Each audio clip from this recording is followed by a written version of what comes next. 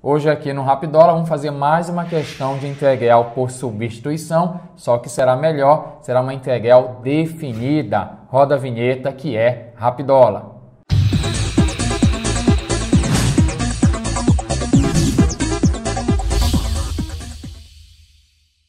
Eu quero calcular a integral definida da função log natural de x dividido por x quando x varia do intervalo de 1 até o número e. Para você calcular essa integral definida, primeiro você tem que obter a primitiva da função log natural de x dividido por x. E a gente vai fazer o seguinte, vamos chamar esse log natural de x, vamos chamar ele de u, e observe o que acontece. Vou fazer aqui no canto. O meu u será o lnx, o log natural de x, e aí você vai derivar esse U em relação a x. Você vai calcular a derivada de U em relação a x. Não esqueça que a derivada do log natural de x vale 1 dividido por x.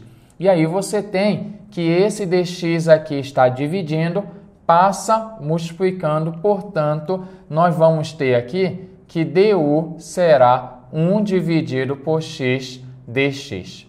E olha só, eu quero obter, primeiramente, a primitiva da função log natural de x dividido por x.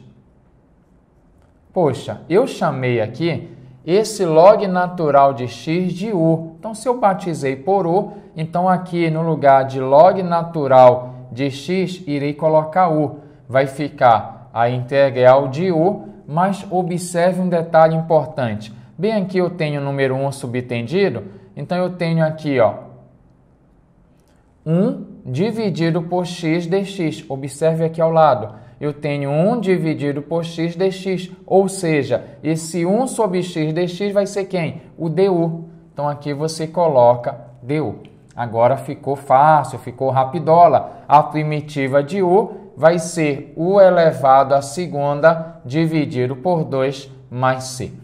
Mas calme, porque esse U você inventou não tinha no enunciado da questão. Quanto é que vale esse U? Esse U é o lnx. E aí você substitui no lugar de U, log natural de x, só que é U elevado à segunda, dividido por 2 mais constante.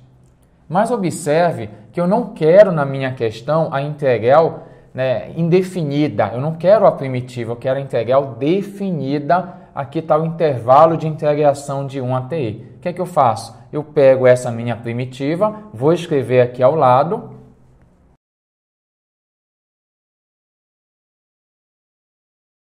Agora você vai substituir um máximo, depois menos um mínimo. Não esqueça do seguinte, esse ln quer dizer log de x na base e. Então agora eu vou substituir um número de Euler, primeiramente. Olha só como vai ficar.